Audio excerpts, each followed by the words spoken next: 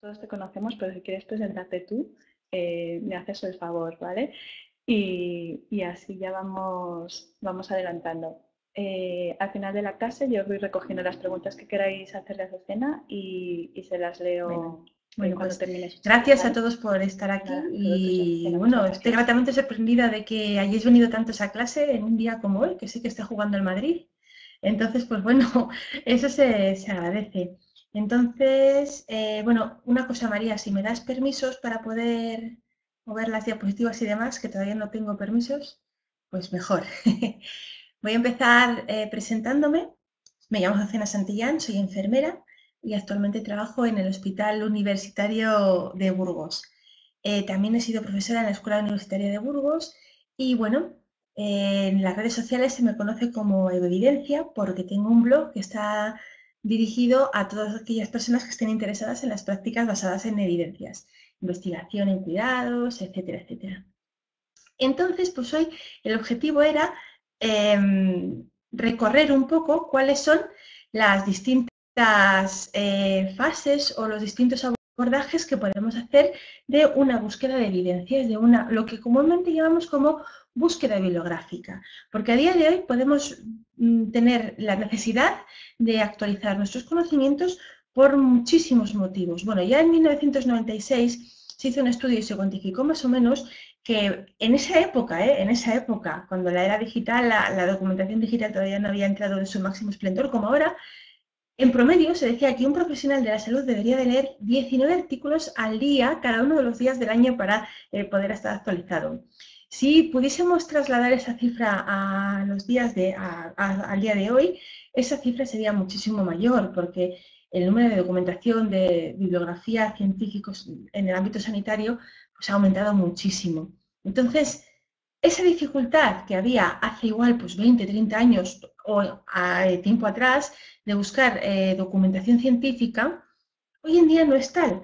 Hoy en día no es tanto la búsqueda de, documentación lo que nos preocupa, sino el cribado, la selección, el filtro de información, porque a día de hoy se publica muchísimo, pero todo igual no nos sirve, todo igual no tiene el enfoque que necesitamos, todos los estudios que se hacen igual no son exactamente lo que, lo que necesitamos, todas las fuentes no son iguales. Entonces, a día de hoy, lo que mm, predomina o lo que más nos preocupa es ese filtrado, ese cribaje de información.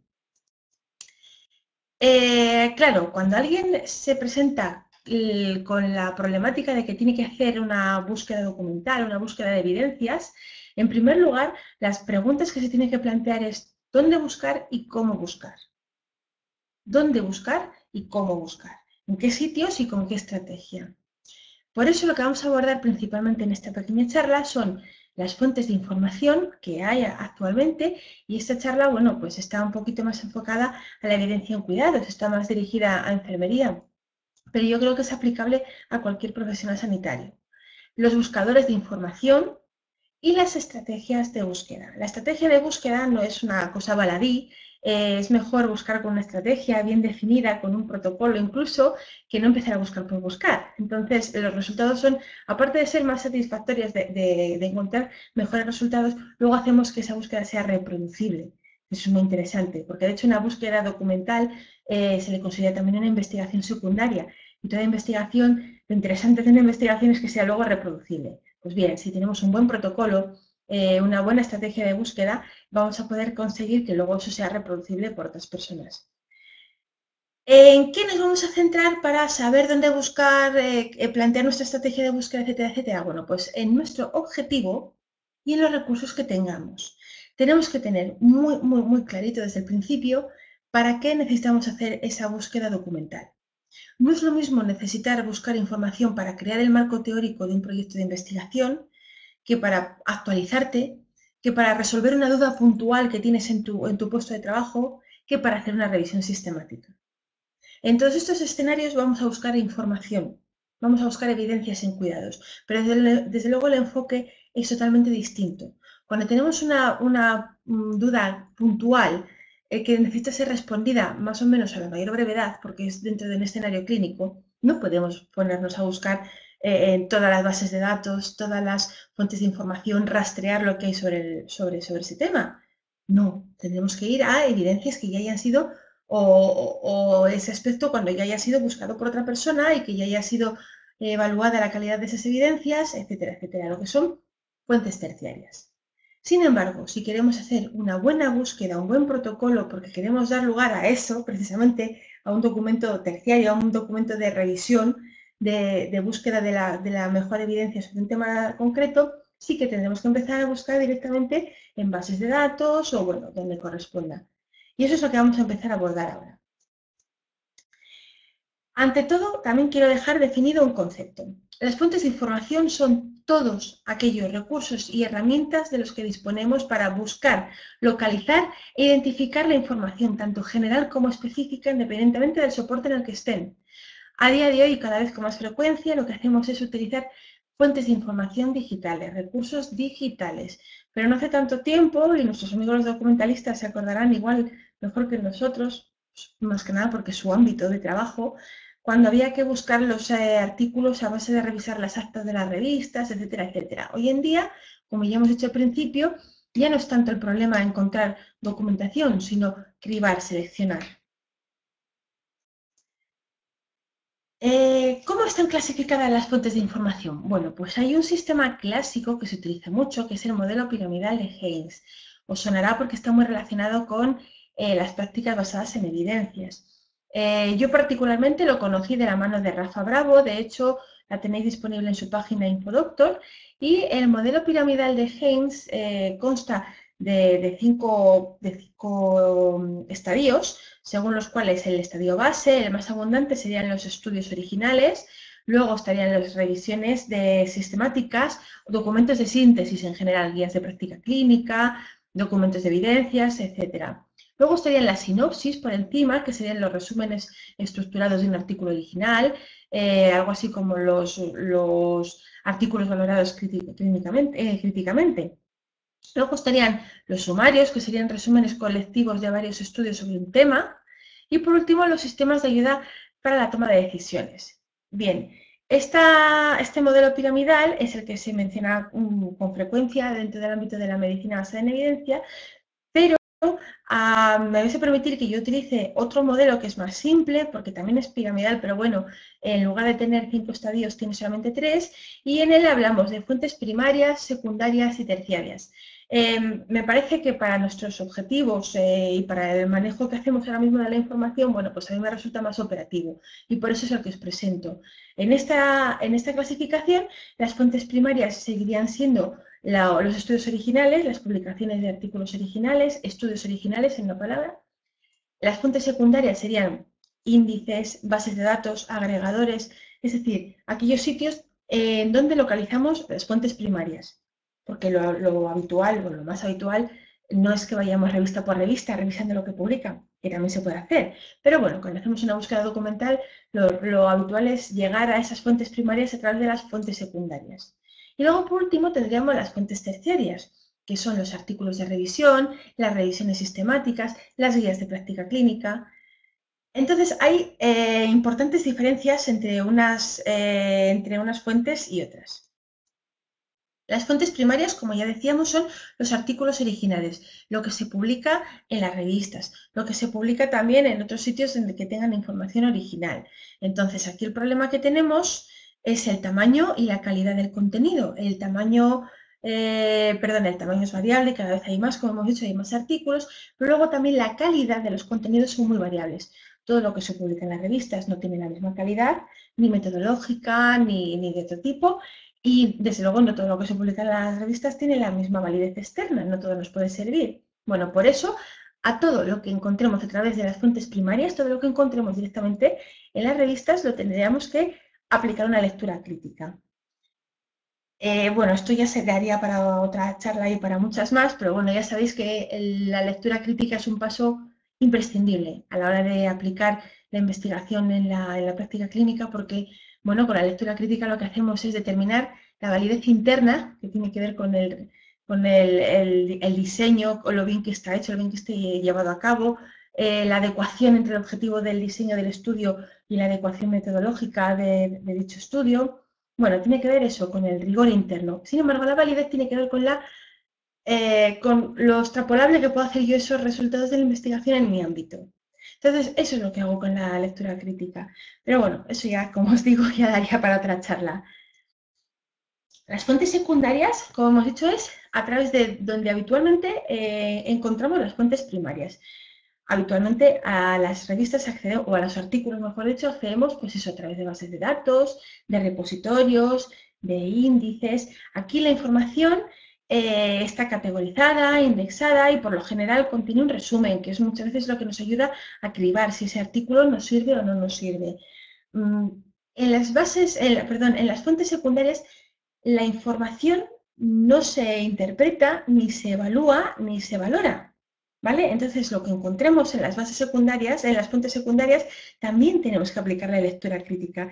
Lo único que nos hacen es facilitarnos el acceso a esos artículos primarios. ¿De acuerdo? Lo único que nos hacen es facilitarnos que lo encontremos. ¿Cómo? Pues porque tienen indexado por temas, por autor, por fechas, por palabras clave. Estas fuentes, estas fuentes secundarias normalmente tienen su propio lenguaje, que son los tesauros, los MES y los DEX. Y sí que es cierto que cada vez son más intuitivas y cada vez entienden mejor el lenguaje natural. ¿Vale? Lo que sí que también es cierto es que a una base de datos eh, extranjera, americana, Mm, si la preguntas en, español, pues no te va a dar buenos resultados, aunque alguna vez te dé algún resultado porque diabetes es igual diabetes que, o muy parecido que en inglés, que en el MES y que en el DEX. Pero bueno, eso es lo que tenemos que tener en cuenta, que las bases de datos tienen su propio lenguaje que son los tesauros. ¿Inconvenientes que tienen? Bueno, pues que hay un cierto retraso entre la publicación de los artículos en las fuentes primarias y en las bases de datos, pero cada vez menor, porque aparecen casi prácticamente a la vez. Y luego, pues que hay que tener destreza en las técnicas de búsqueda eh, en cada fuente secundaria, que sí que es cierto que cada vez son un poquito más intuitivas y hay muchos tutoriales. Y aquí sí que os recomiendo a todos que simplemente os pongáis manos a la obra, porque es perderle un poquito el miedo a la interfaz de la base de datos y es atreverse a trastear y, preguntar, preguntar a los documentalistas que te, orienten y que te enseñen trucos sobre, cómo utilizar esas bases de datos. Pero eso sí que es un precio que hay que pagar. La curva de aprendizaje no se paga sola. Las fuentes terciarias son recopilación seleccionada, evaluada y contrastada de información publicada en artículos originales. Es decir, es lo que está contenido, son los artículos originales, o sea, las fuentes primarias, pero ya evaluadas, resumidas, estructuradas. Por eso es eh, son fuentes que utilizamos mucho los clínicos, porque es a lo que, lo que queremos directamente, queremos respuestas.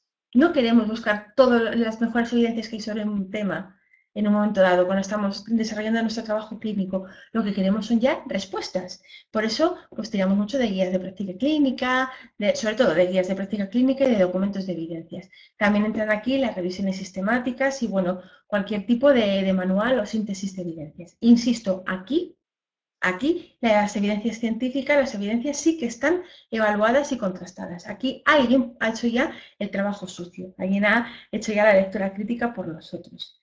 Eh, aunque también se le puede aplicar la lectura, se puede aplicar lectura crítica a estos documentos terciarios. ¿Mm? También se le puede aplicar, para eso están ahí las herramientas específicas. Pero bueno, eh, desventajas, pues que no contienen las últimas novedades. Claro, una guía de práctica clínica, elaborarla, pues te puede llevar un par de años de que la publicas y, la y demás, pues bueno, puede que la información que contenga sea de artículos publicados pues eh, igual cuatro o cinco años antes de que se publicase la guía de práctica clínica. Entonces sí que hay un pequeño retraso. Pero bueno, si tenemos en cuenta que ya lo que se publica en las revistas suele tener un retraso, pues bueno, no sé, a mí no me parece tan, tan grave si, si luego, si lo tenemos en cuenta. Simplemente eso, tenerlo en cuenta. Y bueno, simplemente tener, eh, eh, también os quería, os quería indicar que este, este esquema, bueno, pues está elaborado simplemente con fines didácticos, porque las fuentes de información están sujetas a muchos tipos de clasificación y ninguno puede ser considerado como definitivo. Este es muy simple porque me parece muy, muy claro y para nosotros eh, nos sobra, o sea, nos vale ya con esa clasificación, pero luego hay que tener en cuenta que todos estos elementos documentales, todas estas fuentes cambian, son muy heterogéneas. un buscador se convierte también en un repositorio de fuentes terciarias. eh, un índice tiene ya dentro su propio buscador lo, y que te permite buscar en otras fuentes, con lo cual ya es un metabuscador. Entonces, cada vez hay, esto está más desarrollado desde el punto de vista tecnológico y cada vez aparecen más elementos híbridos. Por eso tampoco podemos ser demasiado, estrictos o estar demasiado preocupados en decir, ¿pero esto qué es? ¿Una fuente primaria, secundaria? Bueno, vamos a ver lo que nos ofrece y luego ya pondremos la etiqueta si, si corresponde, si es realmente interesante. Diferencia, a ver, esto os lo digo porque me hacen este tipo de preguntas muchas veces en los talleres y demás. Eh, cuando accedes a una base de datos, si la base de datos es gratuita, como puede ser Medline, cuando accedemos a través de PubMed, que es su buscador, eh, no quiere decir que lo que encontremos en la base de datos sea gratuito. La base de datos simplemente nos va a llevar, nos indica, nos señala con el dedo dónde está el artículo que está hablando de lo que estamos buscando. Pero si la revista es de pago, el artículo es de pago. Y si el artículo es de una revista Open, el artículo estará disponible para nosotros. A no ser que accedamos a través de eh, bibliotecas virtuales de nuestro entorno. Por eso, lo primero, primero, primero que tenemos que tener en cuenta a la hora de valorar las fuentes documentales que tenemos a nuestro alcance es qué fuentes o qué recursos nos ofrece nuestro proveedor habitual, es decir, nuestra gerencia de salud, si trabajamos en, asistencial, o nuestra universidad, si somos docentes, o lo que sea. ¿Qué biblioteca virtual tenemos y a qué nos da acceso? Nos da acceso al UpToDate, nos da acceso al Clinical Key, nos da acceso a, a Final, nos da acceso a qué?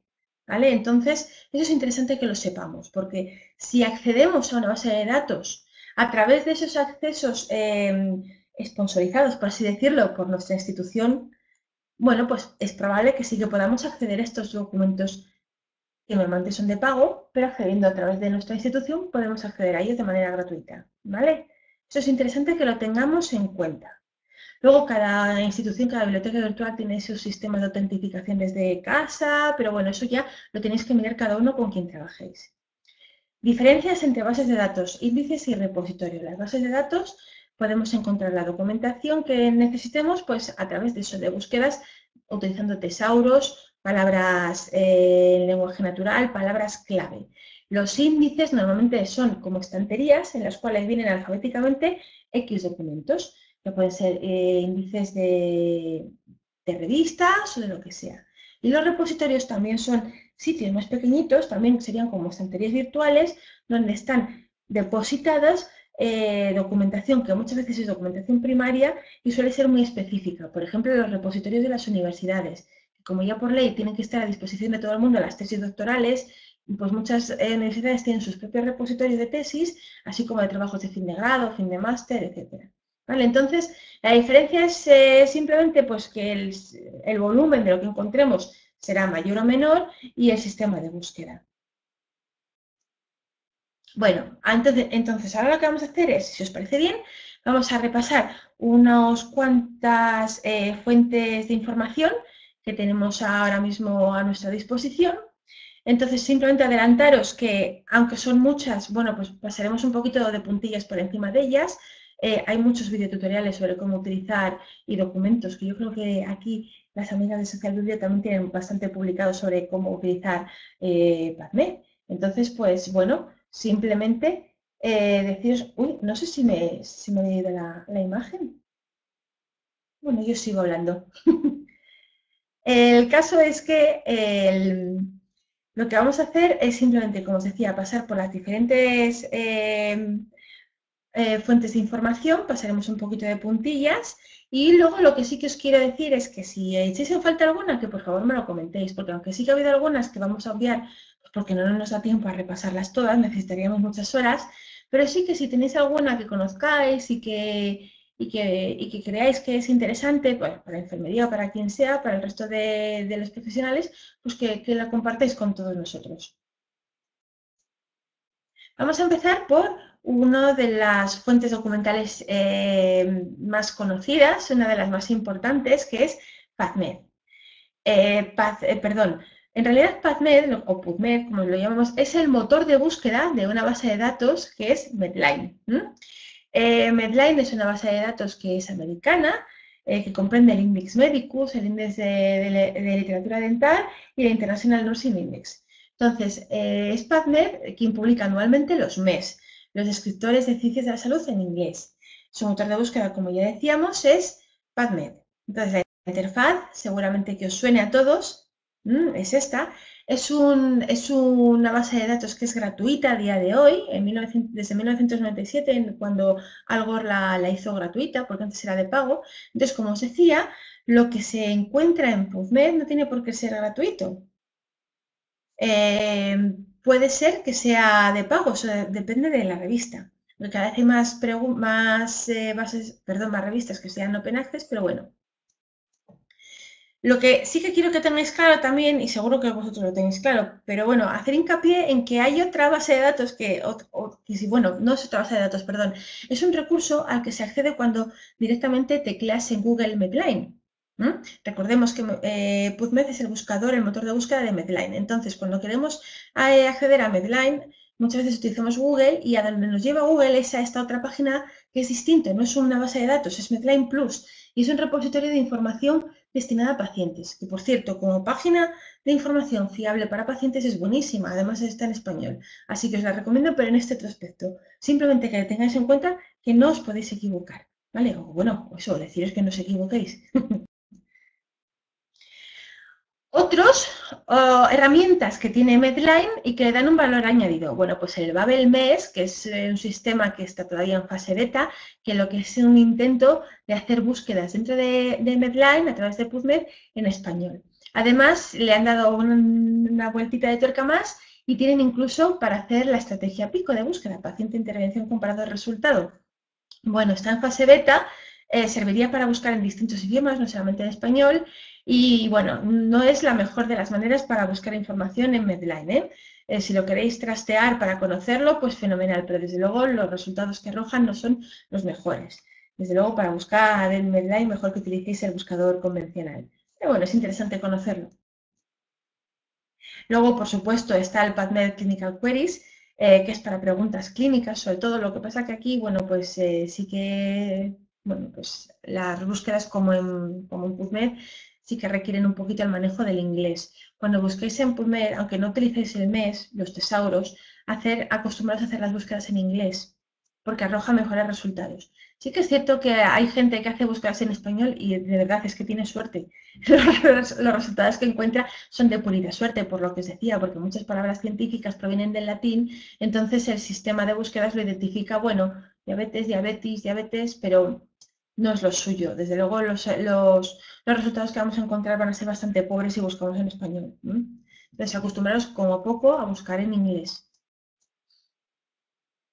Otro consejo que os doy es que en PubMed que, vamos, que registréis, que es gratis y que luego obtenéis un montón de recursos eh, y de facilidades, como por ejemplo guardar las, las, búsquedas. Tenéis una especie de rinconcito donde ir guardando vuestras búsquedas, donde ir guardando vuestros documentos. Y bueno, es un, es un sistema muy facilito de registro, como os digo, es gratuito, viene arriba en la pantalla, arriba a la derecha, y os recomiendo que la hagáis, porque tiene unas utilidades que parecen una tonterita, pero te facilitan mucho la vida a la hora de, sobre todo a la hora de, de retomar antiguas búsquedas y demás, está muy bien.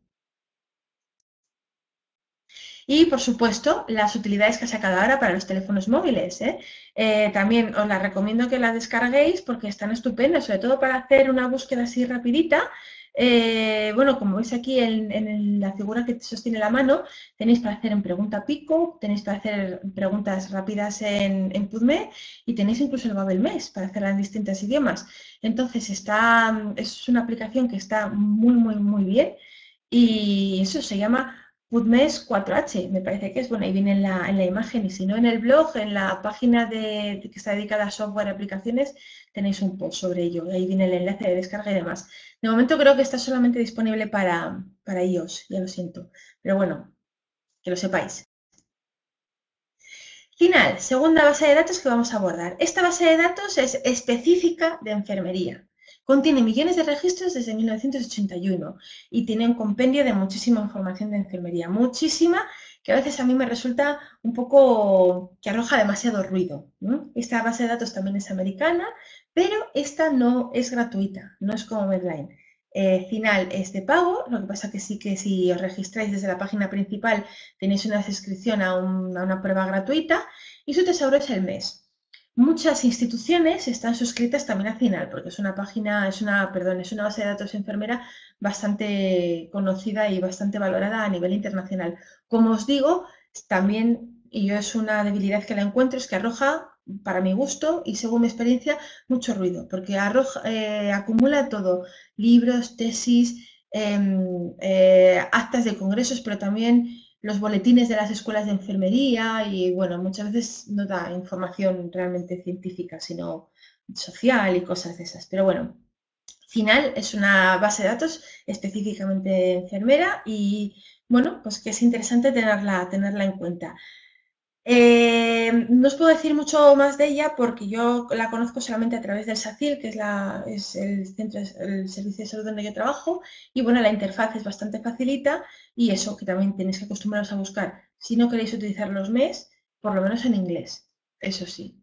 Y normalmente es una búsqueda eh, normal por campos y tiene filtros y sin más. Otra base de datos, eh, esta también es de, pago, pero cada vez está, eh, hay más instituciones públicas y privadas, por lo menos aquí en España, que están suscritas, eh, son las bases de datos del Web of, Science, WOS, que antes se llamaba Web of Knowledge, WOC. ¿Os sonará? Bueno, pues estas bases de datos actualmente las, está, las, las gestiona el CECID y bueno, os sonará también porque es a través de ella como conseguimos o como nos enteramos de cuál es el índice de el impacto JCR, el Journal Citation Report de las revistas, que a los clínicos nos importa un poquito menos que a los académicos, pero bueno, esto ha sido una maldad. ¿eh? el caso es que son bases de datos que también son muy potentes, son internacionales, acumulan distintas disciplinas y también son bases de datos que, desde luego, si tenemos acceso a ellas, deberíamos consultarlas la colaboración Cochrane. Llegamos a este es otro recurso que ya no es una base de datos per se, o, bueno, sí que he oído a gente que la denomina base de datos. ¿Por qué? Porque simplemente es una red internacional, que es un conjunto de subbases de datos que incluyen revisiones sistemáticas y metaanálisis de artículos publicados en las principales revistas. Es decir, la colaboración Cochrane lo que hace es publicar sobre todo revisiones sistemáticas y metaanálisis sobre temas determinados.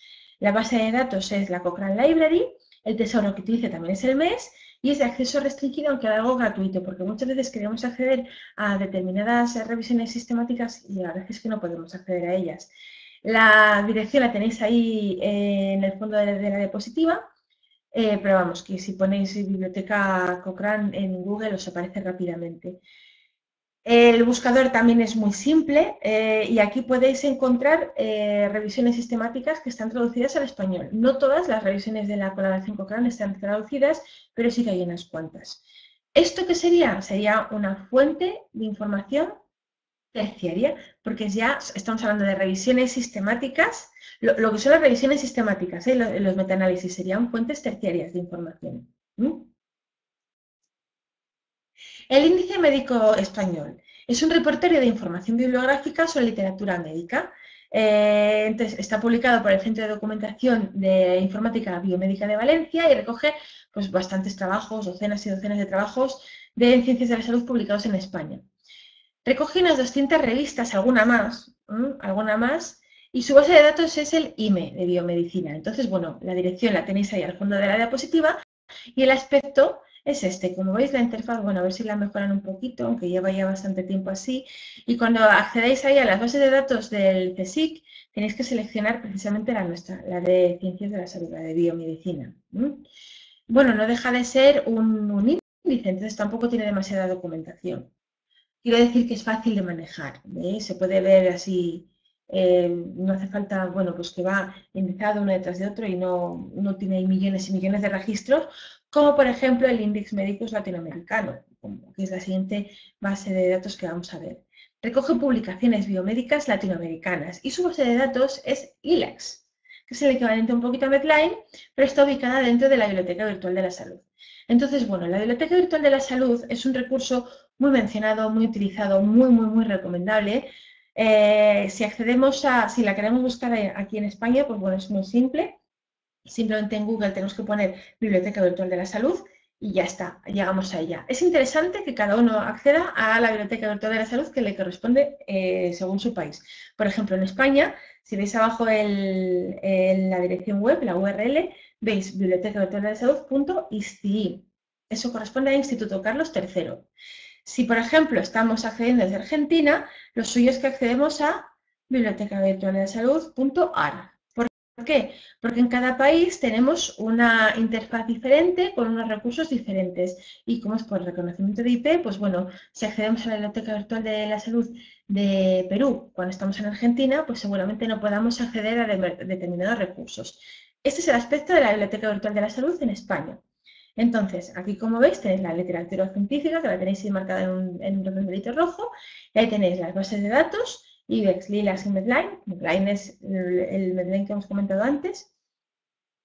Y ahora, ese es el aspecto que veis que tienen los cabeceros de las demás bibliotecas virtuales de la salud. Si vamos a la anterior diapositiva, y veis aquí arriba, la bueno, arriba en la diapositiva que te pone claramente Biblioteca Virtual de la Salud de España. Veis el logotipo del Ministerio de Ciencia e Innovación Español y demás. Así sabemos que estamos en la página virtual de la salud de España. Sin embargo, se pueden acceder tranquilamente a otras páginas virtuales de la salud de México, de Argentina, de Perú, de Colombia.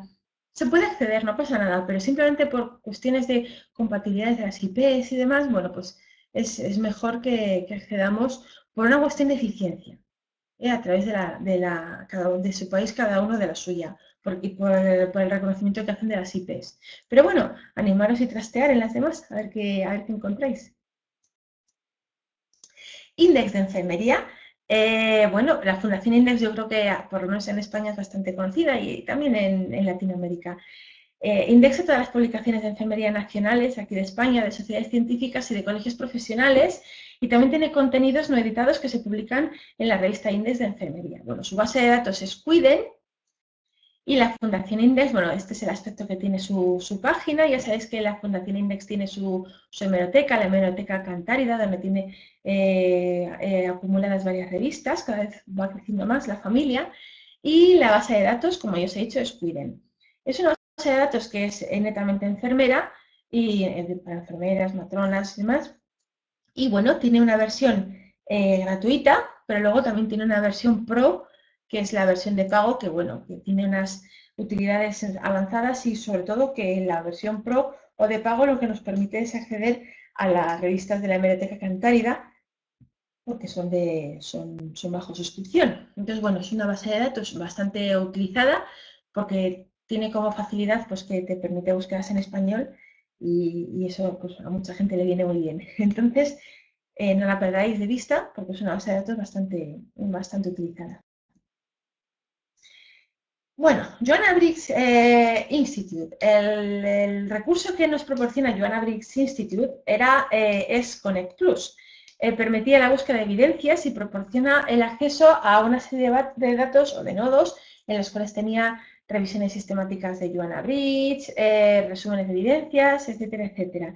Bueno, sobre todo me gustaría poner el foco en los documentos, en los, recursos que aporta el centro, la colaboración Joanna Bridge en su página Evidencia en Cuidados, que es esta que veis en la diapositiva. Ahí podéis acceder a las guías de buenas prácticas de la RENAO traducidas en español, también recurso netamente enfermero, a los BEPIs, Best Practice que son resúmenes de evidencia eh, traducidos al español también con recomendaciones sobre cosas concretas aspectos concretos de nuestra práctica clínica. Bien, ahí tenéis esos resúmenes de evidencia traducidos, esos recursos de evidencia y bueno, no lo perdáis de vista porque en este caso la página de, de Joanna Bridge no es, una, no es una base de datos, pero desde luego tiene un buen repositorio de recursos muy, muy, muy interesantes. En FISPO os sonará también porque es eh, una base de datos que permite la consulta del catálogo de artículos de, la, de una selección de revistas en español que reciben de la Biblioteca de la Facultad de Enfermería, Fisioterapia y Podología de la Universidad Complutense de Madrid. Os sonará por eso, porque es la base de datos de la Complu. Entonces, es totalmente gratuita desde el 2002, consta de bastantes miles de registros, 70.000, y procede de 111 revistas. Bueno, estos datos seguro que van aumentando año tras año, así que simplemente quedaros con el dato del volumen que maneja. Tiene búsqueda directa o a través de un índice. Y este es el aspecto que tiene, es bastante limpio. La verdad es que están tendiendo, las bases de datos a mí me parece que cada vez tienden a ser más, más limpios, más nítidos, con los campos de búsqueda básicos, con fondos blancos, y a mí eso me parece muy bien porque la verdad es que cuando tienes que trabajar muchas horas delante del ordenador y hacer muchas búsquedas, pues se agradece la nitidez y la claridad. Y bueno, en este caso, pues este es otro recurso más, otra base de, datos que también se puede consultar y también tiene como, ventaja que pues, se puede hacer las búsquedas en, español, que eso es, ya os digo que hay gente que eso lo agradece mucho. Y bueno, se pueden hacer búsquedas por campos, como veis en la diapositiva, o arriba muestras por índices. Cuidadge es otra base de datos, esta vez desde la Escuela de Enfermería de la Universidad de Rovira y Virgili de Tarragona, y también es gratuita desde 1999. Tiene 22.000 registros y está escrita en catalán, pero acepta búsquedas en eh, castellano y en inglés. Entonces, este es el aspecto que tiene Cuidadge. Como veis también muy limpita, una barra de búsquedas y ya está. Y fenomenal. Y esto, como os he dicho, acepta búsquedas en español, catalán y en inglés. MEDES eh, es, un buscador que está desarrollado por la Fundación Lili. Esto no es, lo he oído yo mencionar más, o lo he visto yo más bien descrito más como un buscador que como una base de datos, pero bueno, es de acceso gratuito y consta de 65.000 registros en español y además tiene búsqueda sencilla y avanzada. Su interfaz, de nuevo, súper facilita, una barra de búsqueda y ya está, aunque luego te permite búsqueda avanzada por campos. Entonces también es interesante, pues eso, que maneja sobre todo documentación en español. La Agencia de la Evaluación de las Tecnologías Sanitarias es un recurso que no todo el mundo siempre tiene en cuenta, porque no, siempre nos hace falta. Vamos a ver. Eh, la Agencia de Evaluación de las Tecnologías Sanitarias lo que tenemos son los documentos técnicos que estas agencias eh, elaboran. Hay agencias en bastantes comunidades autónomas, no en todas, y bueno, estos son documentos técnicos que nos pueden venir bien si estamos haciendo una búsqueda documental sobre esos aspectos técnicos. Por ejemplo, sobre apósitos de curas de heridas, pues hay un documento técnico que viene de la Agencia de Evaluación de las Tecnologías Sanitarias. Entonces, según cuál sea el, motivo de búsqueda, pues podemos... Eh, encontrar documentación interesante ahí. Por ejemplo, si queremos hacer búsquedas sobre equipamiento, sobre técnicas, procedimientos de uso, médico-sanitario, eh, bueno, tampoco hay eh, miles y miles de documentos, ¿eh? se busca, se ve muy facilito si hay alguno que nos, que nos viene bien. Aprovecho para mencionar que, bueno, que aunque no aparecen mencionados en esta lista de recursos, en función de cuáles sean nuestros objetivos, como decíamos al principio, igual también tenemos que meternos en las páginas de sociedades científicas, porque ellos tienen muchas veces sus propios repositorios de, con documentos de consenso o con síntesis de evidencias. Por ejemplo, la GENAU es un excelente ejemplo. Es una sociedad científica muy activa que tiene muchísima documentación propia y que, bueno, algunas de esas cosas no vienen siempre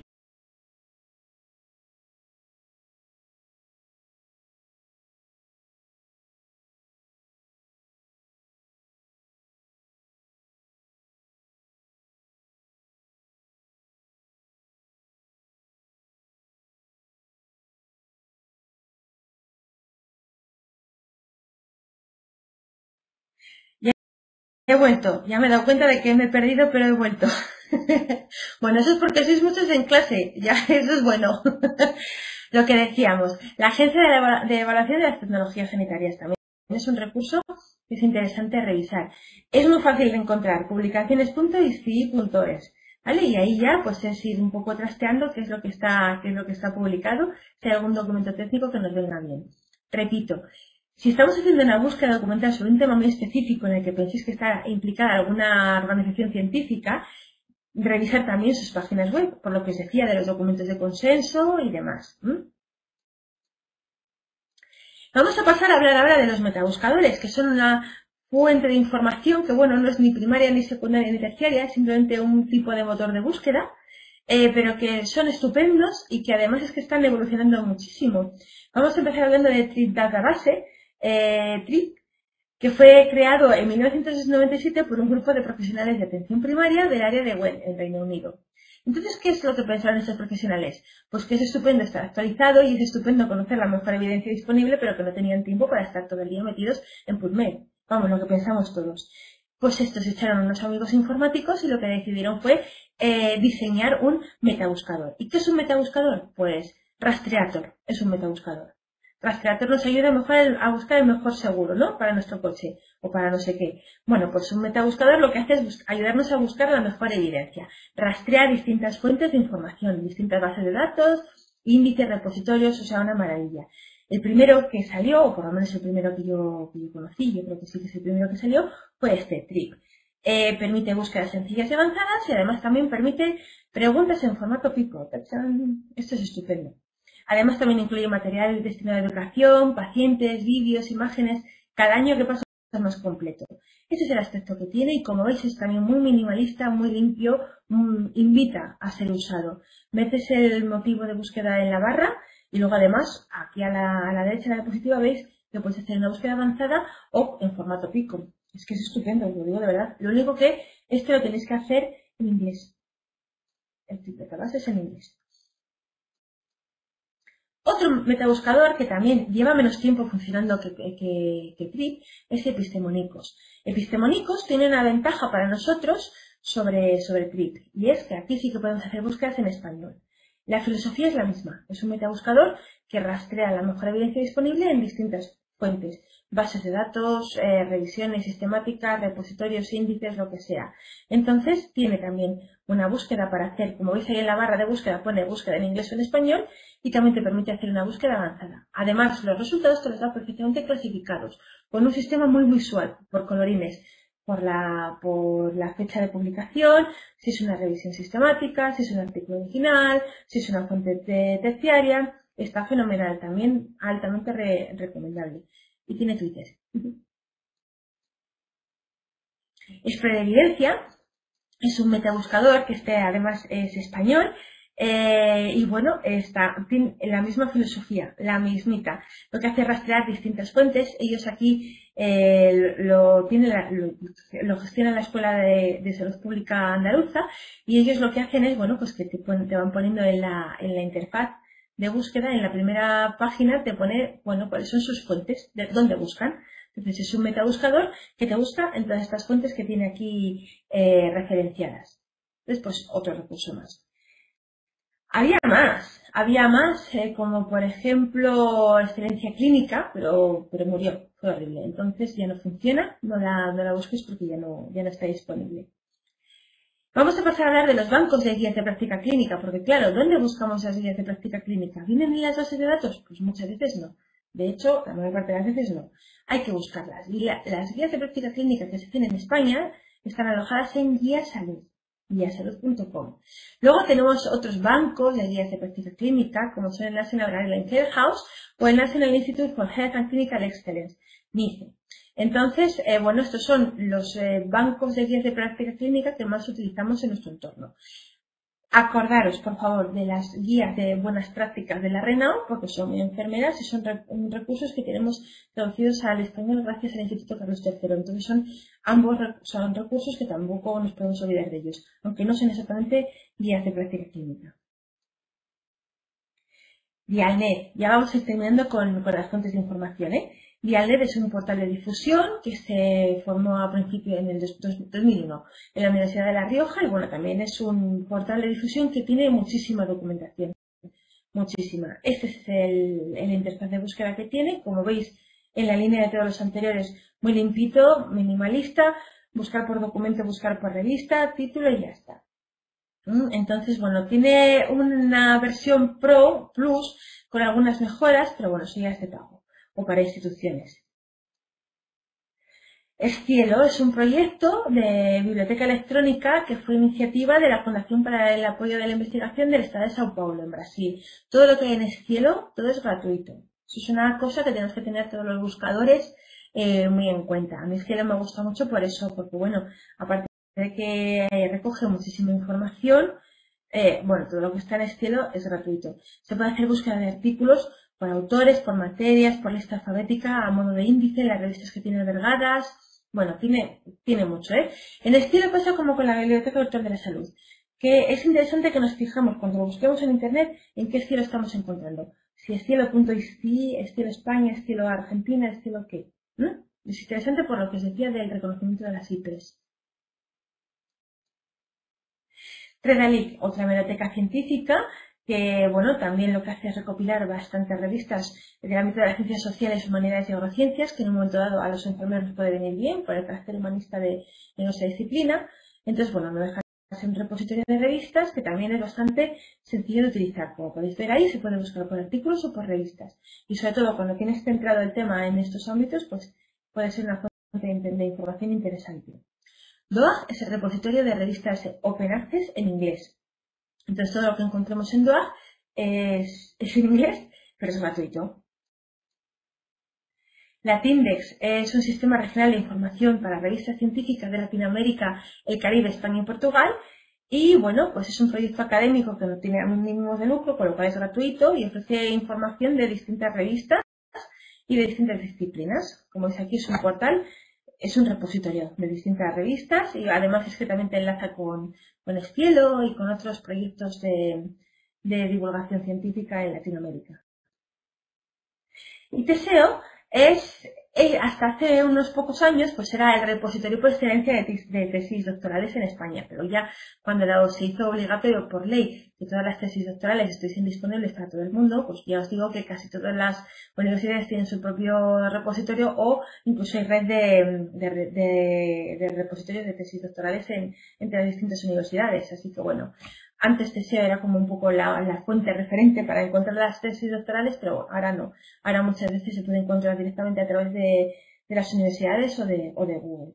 Hablando de Google, eh, Google no es un buen motor de búsqueda para buscar evidencias, eso está claro, pero si tenemos que hacer así una búsqueda documental que no precise eh, un protocolo muy estricto, sí que es cierto que nos puede venir bien buscar en Google académico.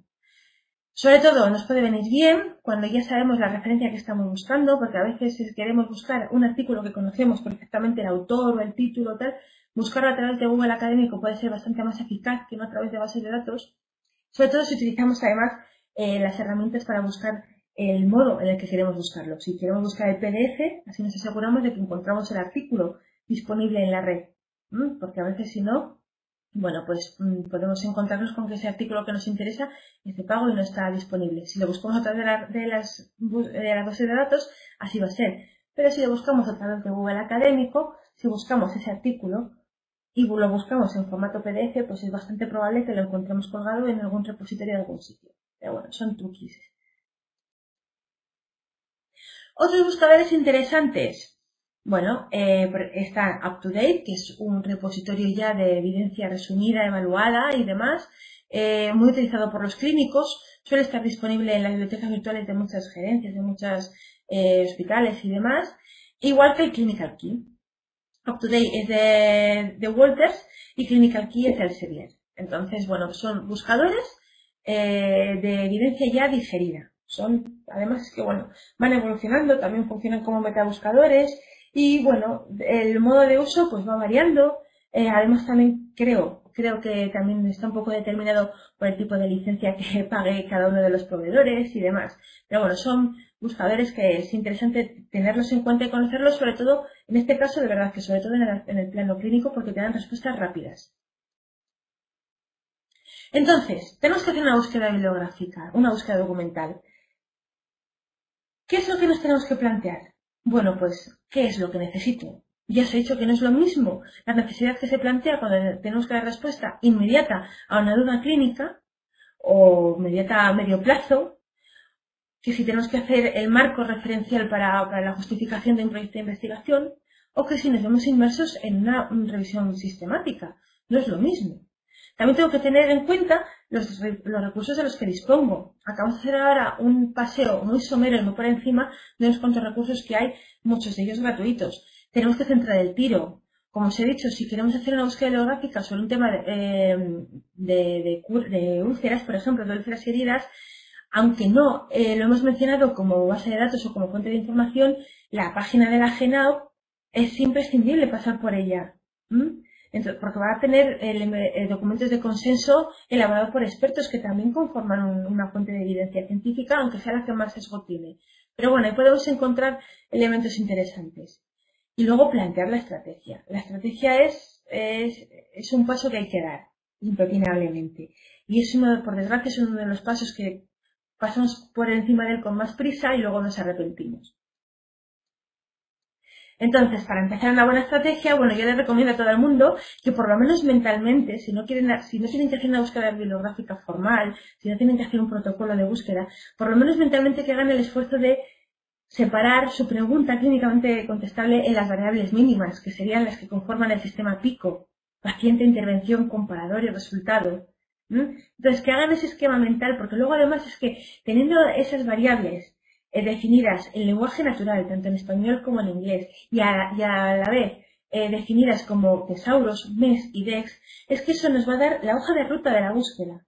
Y además es que eso nos va a hacer, nos va a favorecer que luego esa búsqueda sea reproducible en un segundo tiempo o en un tercer tiempo.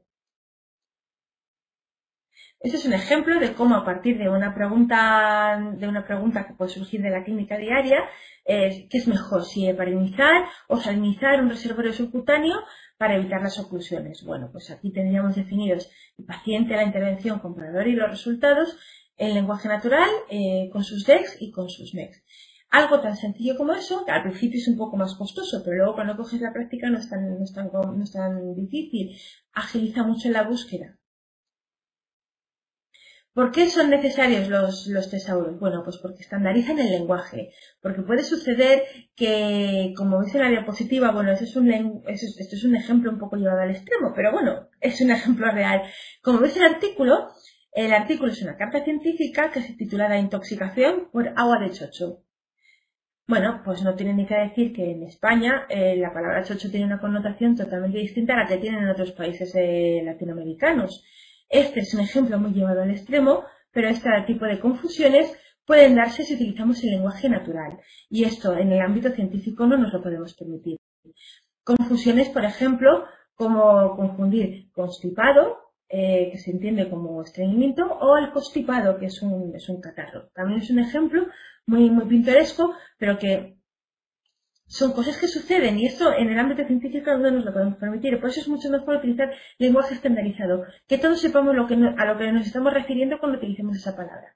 De ahí la necesidad de utilizar DEX y MES a la hora de hacer nuestras búsquedas. Entonces, eh, los DEX se buscan en la página de los DEX, que es, fácilmente identificable a través de, de Google, como dice en la diapositiva, dex.bvs están dentro de la Biblioteca Virtual de la Salud y los MES, como hemos dicho, están dentro de PubMed, el buscador de Medline. En la utilización de operadores y booleanos también va a depender mucho de lo complicada que haya sido nuestra estrategia de búsqueda.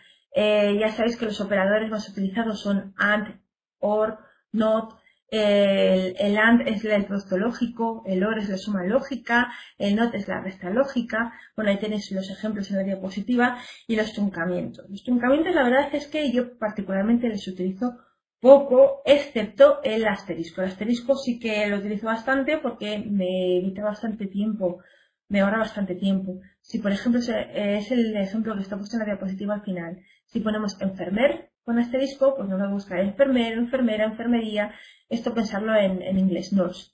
Si pones nurse con asterisco, te va a buscar nurse, nurse, nurse, lo que sea. Entonces te ahorra mucho tiempo. Es un, es un truncamiento bastante, bastante utilizado, por lo menos yo lo utilizo bastante.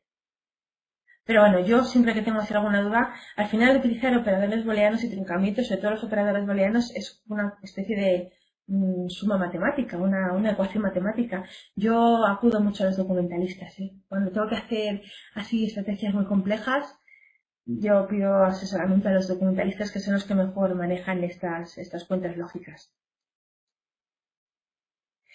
Luego no nos olvidemos de las herramientas 2.0 para, también para encontrar evidencias de salud. Por ejemplo, Twitter. Hemos hablado de unos cuantos eh, fuentes documentales. Twitter está eh, en casi todas, o sea, todas estas bases de datos y demás están en Twitter también. Pero es que luego además tenemos a muchos expertos que están en Twitter. Cuando tú identificas a un experto que tú sabes que maneja información relevante o que está estudiando eso sobre lo que tú estás buscando información, qué mejor que preguntarle directamente. O sea, por ejemplo, es una de las utilidades que tiene Twitter. Luego, otras herramientas 2.0 muy útiles pues pueden ser Google Academy, que ya hemos mencionado, o el Google Alerts. O sea, cuando tú haces una búsqueda a través del, Google académico, si quieres que te lleguen automáticamente todas las alertas cada vez que se publica algo nuevo, pues es una utilidad muy práctica. Este tipo de alertas también las suelen incorporar los buscadores profesionales, las bases de datos profesionales, pero bueno, de un modo gratuito, si no tenemos acceso a estas bases de datos internacionales y potentes, pues está el Google, el Google Alerts. Y por último, me gustaría recalcar la importancia y muy importante del protocolo de búsqueda, sobre todo cuando nuestro objetivo es eso, es buscar, peinar la web, peinar el, universo científico para, en, busca, en busca de la mejor evidencia disponible sobre un tema en concreto. Estoy hablando de revisiones bibliográficas exhaustivas, de la elaboración de guías de práctica clínica, de la elaboración de revisiones sistemáticas. Aquí sí que necesitamos un protocolo de búsqueda, sí o sí. Y para hacer una revisión bibliográfica bien hecha, yo creo que también. Un protocolo de búsqueda no es más que en la descripción del proceso lógico de la búsqueda, muy explícito, para que eso sea luego reproducible por otras personas, porque insisto, es una investigación secundaria, eh, que tiene muy claro el objetivo de la búsqueda, que tiene muy claro definido eh, los límites, que tiene muy claro definido el cronograma y que hace posible la comparación de diferentes estrategias. Esto es muy interesante. Pero también es muy interesante para nosotros, de poder comparar diferentes estrategias de búsquedas a ver cómo estamos llegando a los mejores hallazgos. Esto es muy útil a la hora de embarcarse en revisiones sistemáticas. De hecho, por ejemplo, instituciones como Joanna Bridge primero te piden que presentes un protocolo de búsqueda antes de, eh, eh, bueno, Joanna Bridge en concreto no, pero vamos, eh, no es que te pidan, pero sí, para aquí el centro colaborador Joanna Bridge en, espera, en España te pide que primero presentes el, protocolo de, la revisión sistemática para dártelo de paso, para probártelo y para que luego te puedan ayudar ellos a hacer, eh, con los distintos mecanismos que tienen estipulados, a hacer esa revisión sistemática. Por eso es muy importante, es como presentar el protocolo de investigación.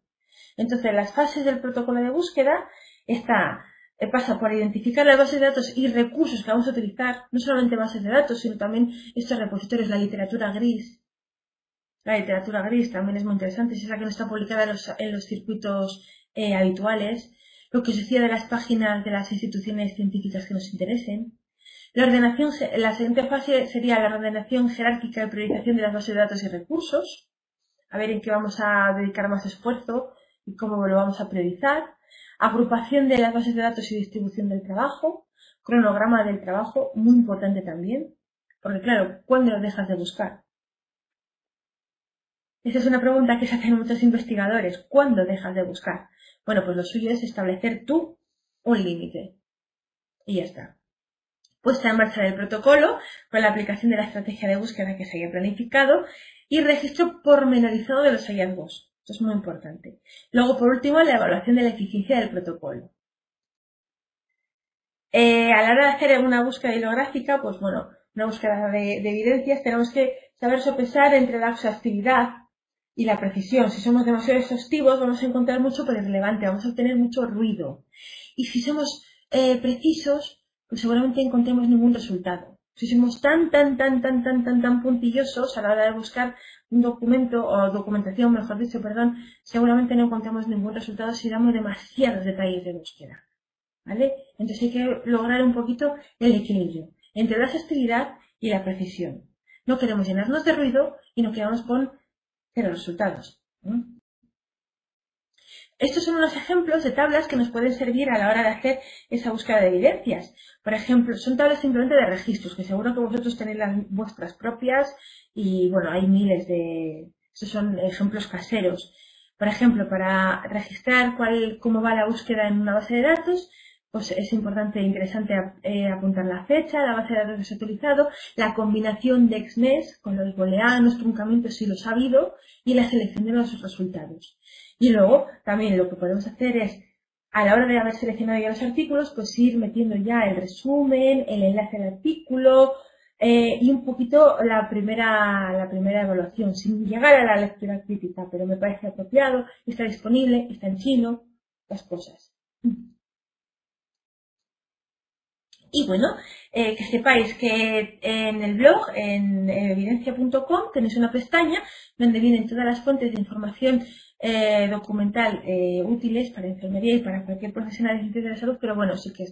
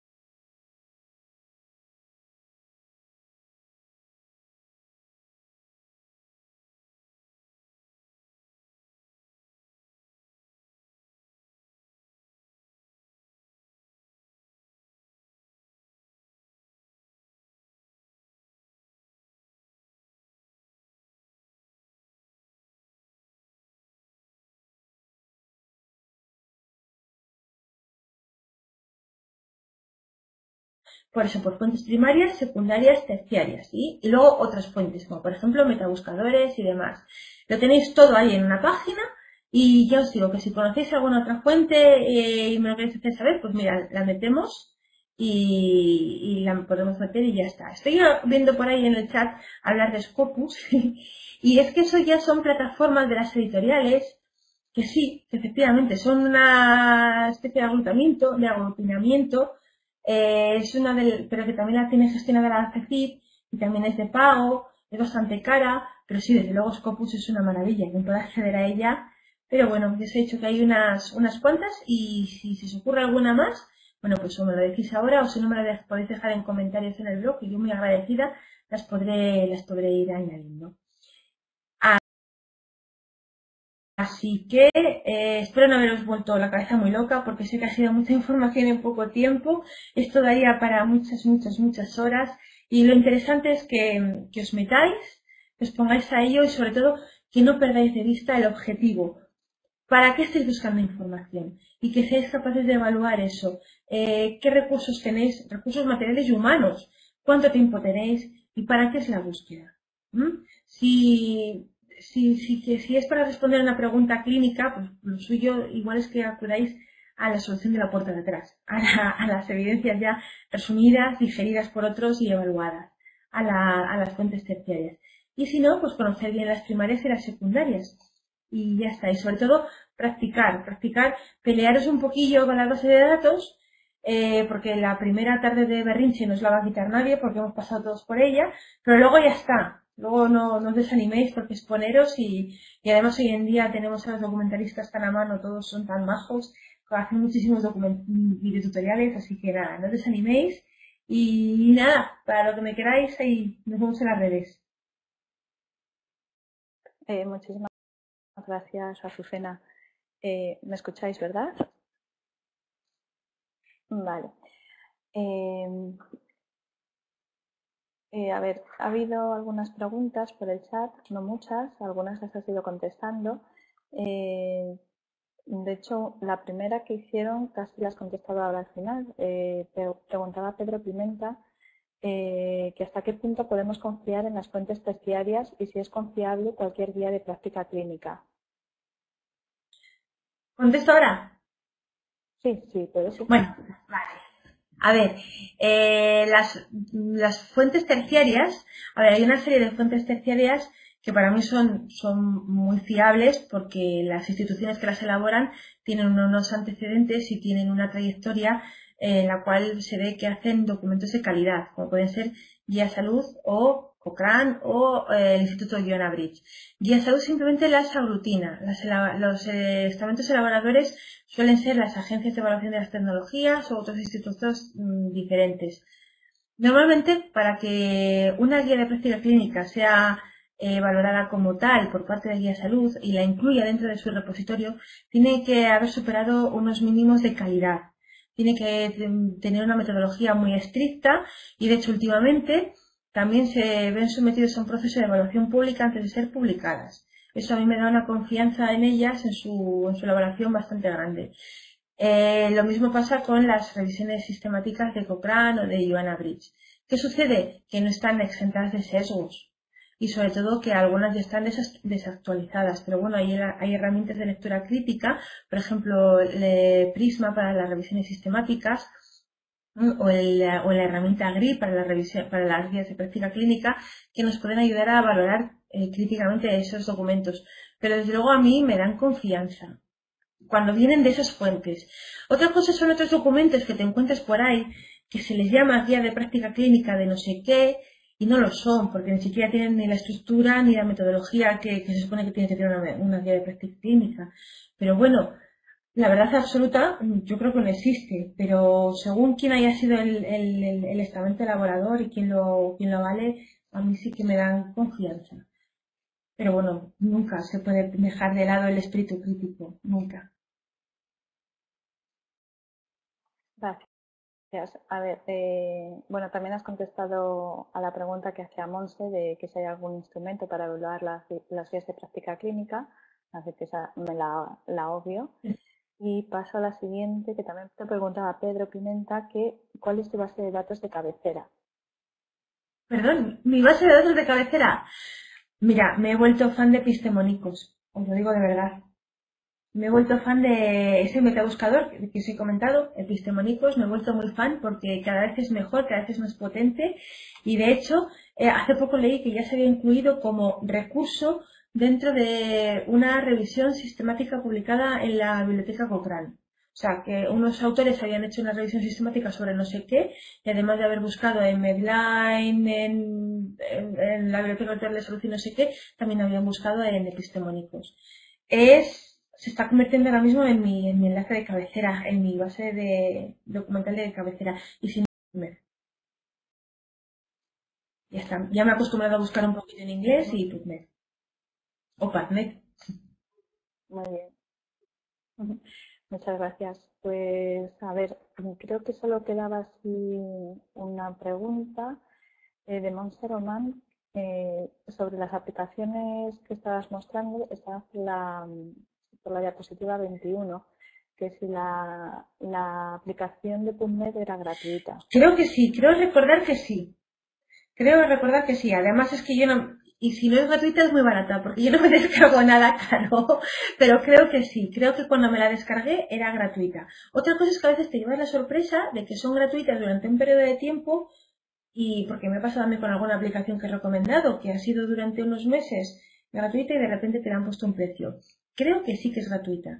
Y si ha dejado de serlo, no creo que sea cara, pero yo creo que sí.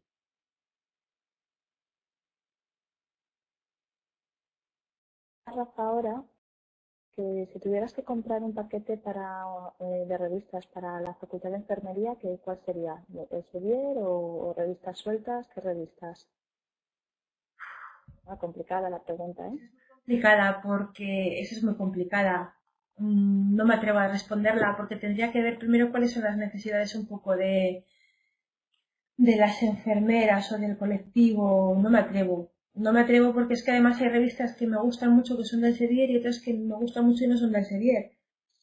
Entonces no, no me atrevo. Igual tiraría más por una buena base de datos. No lo sé. Yo puedo dar mi, opinión de bibliotecaria. Sí. Y, y mi opinión de bibliotecaria es que elijas lo que elijas, siempre estás eh, supeditado al presupuesto. Claro. Entonces eso también lo tienes que tener claro. claro. Sí, no, lo que pasa es que sí que es cierto que hay recursos que son muy, muy caros y que, bueno, que a veces... Pero bueno, eso se ve en un poco haciendo un estudio de la usabilidad del recurso. Eso lo sabrás tú también como documentalista, que, bueno, cuando un recurso no se utiliza, pues se deja de pagar porque es ineficiente. Luego a nosotros nos acaban de poner el Clinical Key y de momento bueno, pues parece que, sí que tiene aceptación. Tiene más aceptación en la UpToDate porque yo creo que es porque estamos más acostumbrados a él, pero en cuanto empecemos a utilizarlo y ahí sepamos utilizarlo más, pues igual es tan aceptado como el UpToDate, no lo sé. Son herramientas también diferentes, no, o sea, no, no son el mismo fin. Pero, pero bueno, sí, nosotros también estamos ahora con Clinical Key y a ver qué tal. A ver, pregunta también David, eh, que qué opinión te dan las revisiones Cochrane. Hay investigadores que comentan que la calidad ha descendido últimamente y me gustaría saber tu opinión. No es la primera vez que lo he oído mencionar, que si la calidad había descendido últimamente, pero yo mm, no te lo sé decir porque mm, en realidad no me he puesto a evaluar en profundidad de las últimas revisiones así. Yo no he detectado ningún, ningún error metodológico gordo en ninguna de las que he revisado últimamente. Pero claro, es que decir esto basándome solamente en mi opinión me parece un poco aventurado. Sí que es cierto que lo he oído, pero yo no sé si es cierto o no. Yo las que he revisado no me parecía o no he detectado así ningún error garrafal, que puede que los haya y no los haya visto, pero no he visto así ningún error garrafal. No me parece a mí que sea más fácil publicar ahora en, en Cochrane que antes, ni, ni nada por el estilo. No te sé decir. Lo que sí que vuelvo a insistir es en que sí que es cierto que son revisiones que tienen una cierta garantía de calidad, pero es como todo lo que se publica en la BMJ pues, eh, o cualquier revista de impacto, de estas de revistas de superimpacto, no debes de dejar de leer con ojos críticos, nunca, nunca. Porque es que a veces se publica por cuestiones desconocidas para nosotros y termina en este tipo de, de, sitios. Entonces, nunca, nunca se puede perder el ojo crítico, nunca. Entonces, a priori. Me pregunto. Sí. A priori las bueno, tienen mi confianza, a priori. La cosa es que... Pregunta Sara, que si Sara González Calvo, que si crees que para enfermería es útil Up to Date y Clinical Key para enfermería. ya no en general como herramienta, pero sino más, más centrado en enfermería. Bueno, no te sé decir. Yo es que igual es porque estaba acostumbrada, es que yo todavía no me he hecho mucho al Clinical Key. De todos modos, también depende mucho de, del tipo de, de registro que haya, creo, ¿eh? No lo sé. Yo es que no me he hecho todavía muy a la... No lo he manejado demasiado. He manejado bastante más el up-to-date y todavía estoy en ello. Estoy en proceso, me estoy zambullendo. Pero vamos, que si a ella le parece que el clinical key está más orientado a la enfermería, pues bueno, igual lo empiezo a mirar ahora con distintos ojos. no, es que no lo he trabajado demasiado. nos lo acaban de, poner ahora mismo en Safir hace muy poquito y todavía me estoy haciendo un poco a ello. Porque bueno, ya sabéis que Normalmente las enfermeras asistenciales no tenemos mucho tiempo para trastear en el ordenador cuando estamos trabajando. Entonces, tampoco me he empapado. Bueno, poco a poco. Habrá, tiempo para todo. Eh, pregunta Claudia, eh, Claudia Silvera, que, ¿qué estándar les recomiendas para lectura crítica? Bueno, pues para lectura crítica, las más conocidas son los checklists de Caspe. Esos son los más conocidos. Entonces, eh, y son además bastante facilitos de seguir y de utilizar. Em, pero también están las fichas de lectura crítica 2.0 de Osteva, que están fenomenal, porque además están en una plataforma virtual que te permite hacer la lectura crítica por pares y vas haciendo además la ficha de lectura crítica online, entonces está muy bien. Hay distintos diseños para los distintos diseños de estudios y bueno, Mm, también está muy bien. O sea que yo las que más he oído mencionar, eh, las que más veo que se utilizan son las CASPE, igual por antigüedad, pero las fichas de lectura crítica de Osteva están pisando muy fuerte. De hecho, las utilizamos. Yo participé en la elaboración de la guía de práctica clínica de la enfermedad meningocócica invasiva y utilizamos las fichas de lectura crítica de Osteva. Y muy bien, porque para trabajar cada uno de los, de los miembros elaboradores estábamos en un punto del país, entonces para trabajar a distancia vienen fenomenal. Hay que utilizar las nuevas tecnologías. Mm. ¿Veis? Como hoy, por ejemplo, haciendo, haciendo esta charla.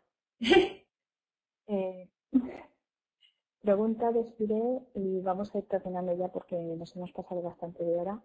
si detrás de Caspe hay un proceso, eh, o sea, detrás de Caspe hay un proceso, ¿en Osteva también? A ver, las fichas de Osteva están, están validadas, están avaladas por un estudio, se hizo un estudio de, de validez, está publicado, además también lo tiene publicado Osteva, o sea que antes de dar la salud son unos cuestionarios que están ya validados, unas parrillas validadas. Y ese documento está disponible en Osteva, en la página de Osteva. Si tenéis interés, vamos, mm, es que ahora mismo tendría que buscar el enlace, pero son, son herramientas que están validadas. O sea, las, herramientas CASPE estuvieron validadas por, en su momento, pero las fichas de Esteba también. También, también. Tienen un apoyo detrás metodológico importante. Bueno, ya sabéis que hay listas de lectura crítica, hay un montón. Hay un post en el, en el blog en el cual he intentado hacer un recopilatorio también de listados de lectura crítica, porque es que ahí la tira, hay un montón. A ver, os dejo aquí en el, en el chat el enlace a Ostela, ¿vale? A las publicaciones, por si queréis luego ir vosotros mirando más detenidamente. Eh, si no hay más preguntas, creo que vamos a ir cerrando porque podríamos estar aquí toda la noche, pero no tenemos tiempo. Y no. Eh, muchísimas gracias, Azucena. Pues nada, muchas gracias no sé si algo más. No, gracias a, todos los que os habéis quedado hasta el final de la clase, sois unos valientes y que de verdad que me tenéis a vuestra disposición en, en las redes y que si tenéis alguna duda más o lo que sea, bueno, pues que me lo dejéis en las preguntas del blog o, o que me preguntéis a través de Twitter y ya está, que yo en lo que os pueda ayudar y que esto es un proceso de aprendizaje continuo, continuo, continuo, continuo, continuo, o sea que, que si estáis iniciándose en el mundo de las búsquedas bibliográficas que no os desesperéis, es bonito. Cuando le coges el tranquillo, es muy bonito. muy bien. Bueno, pues eh, muchísimas gracias, Azucena. Gracias a, todos por venir. Eh, disculpad el, el estrés de, de, los primeros minutos al entrar, pero bueno, ya estamos aquí. Hemos hecho bien. ¿eh? Yo creo que, que le hemos sacado partido a la clase. Muchísima información que ahora tendremos que procesar Mañana dejaremos en el blog eh, la grabación de la clase y, el link a, la, a, las diapositivas por si queréis volver a ver eh, los enlaces y un poco repasar la información, lo tendréis en, en Y nada, eh, os esperamos la, la próxima semana, creo que es. Tenéis el, enlace ya en la, en la web también, por si os queréis apuntar a la siguiente charla. Y nada, muchísimas gracias a todos por venir y a Cecena, eh, gracias por, por tu tiempo y tus conocimientos. vale, gracias a vosotros. Chao.